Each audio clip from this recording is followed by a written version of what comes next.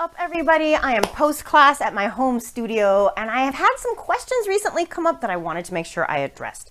I've had a lot of new people joining the class, which makes my heart explode. Thank you so much. New faces, new to Essentrics, new to Essentrics with me. However, whatever the case may be, I love having you and I love that you're enjoying these workouts. Thank you. Uh, the, one of the questions was, how do the workouts work in terms of getting feedback? So for example, maybe you've taken other fitness classes in person, or maybe some people are still able to give individualized attention via their screen. That's not something I feel like I can do. Number one, I cannot really see your movement well enough in the little two by two inch box on my screen. Even if I had a huge computer uh, TV screen, with everyone on there, I cannot see with the detail I need. And because the workout I teach really isn't about how you look, it's about how things feel, I only get so much information from watching you. I really need to have a conversation with you about how the movement feels to you. So like I say in all of my classes, one of the, the pillars of the Essentrics workout is that we don't do anything that hurts.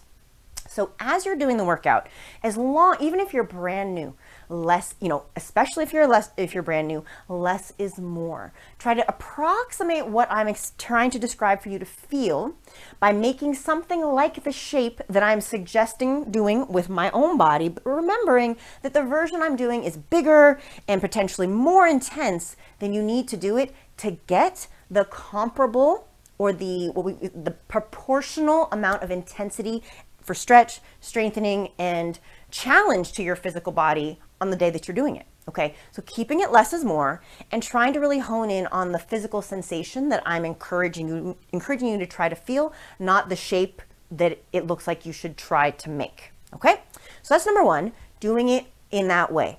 Then, if you make a note to yourself in class like, hmm, I'm not feeling what she's talking about. Either you don't feel a sensation that I describe.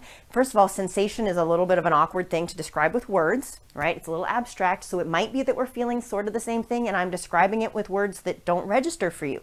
First of all, teach me something. Come and tell me what you're feeling and then I'll try to figure out, I wonder if that's, if we're feeling the same thing. It's like when we look at a color and we both see orange, but are we really seeing the same thing? We're calling it the same thing it really kind of helps to figure out with a little bit more nuanced discussion. So first we're going to figure out what are you feeling?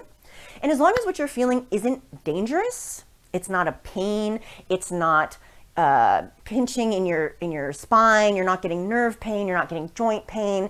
It's muscle stretch, right? It's healthy, strengthening muscle stretch. You're feeling your connective tissue, which is really our connective tissue is where most of our, or is where our the sensory nerves, the vast majority of our sensory nerves are, that we're feeling that potential warmth and heat and stretch.